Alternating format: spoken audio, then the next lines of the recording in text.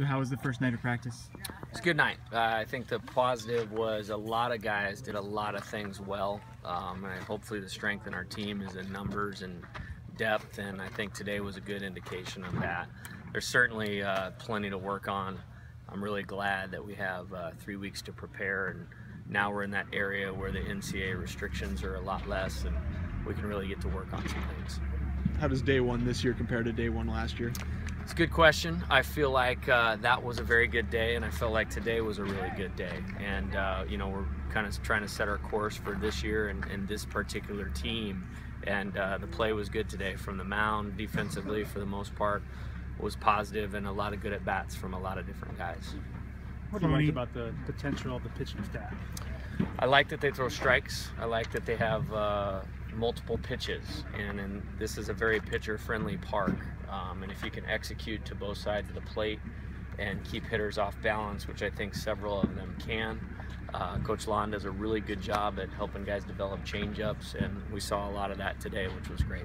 How the freshmen looked? Thought it was outstanding today. I think um, you know it's a tough learning curve. I mean, this will be the biggest jump that they make in their baseball career from high school to Division One or Pac-12 baseball and the schedule that we play. And uh, today was a good start in terms of uh, the way they looked and how they competed. There's certain there's a lot of learning taking place, and if a lot of you were standing out here in the cold, it's because we're trying to teach as we go and slow the game down. But that was really encouraging today. Chemistry was a really big part of your squad last year. How do you see that developing this year?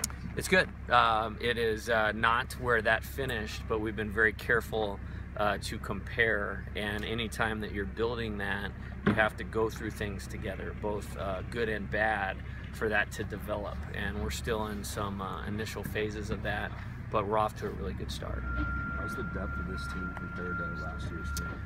Uh, I think it's. I think we're a little farther along in terms of the number of good players, and uh, you know we're replacing a lot of really talented dudes that had uh, special years, and um, you don't look to one guy to replace one guy. It's kind of the whole village, you know, and, and, their improvement and their development. But I think if there's one thing I'm excited about, and I think today showed that, is the number of guys that can make a positive contribution. So now we got to go work on uh, figuring out what the right combination looks like. Rivas and LaBaut at first base, how do they look? Yeah, uh, Alfonso um, looks great. I think that's his natural position. I think with the athleticism that we have with the other potential outfielders, that's going to be a natural fit for him. Randy, we're kind of shrinking his role a little bit. Uh, he's going to be a huge part of the pitching staff, so we're going to put more focus there and be more of like a left-handed DH pinch hitter. So between Alfonso, JJ, Corey Voss can play over there, and, and Sawyer uh, can really play anywhere. I think those guys will get the majority of the time at first. Cloney and Ming were the starters for the uh, for the scrimmage game tonight. You brought them along slowly in the fall because of their workload. How have those guys kind of come around? That was great. Um, I think they really set a good tone uh, in terms of strikes, low strikes, in and out, and changing speeds at a, a really good level. Uh, we put some base runners on to start innings, so our pitchers got comfortable pitching in the stretch and pitching out of tough spots, and our hitters could kind of work our red zone offense, if you will, runners in scoring position, and, and those guys were, were seamless, and that was uh, great to see.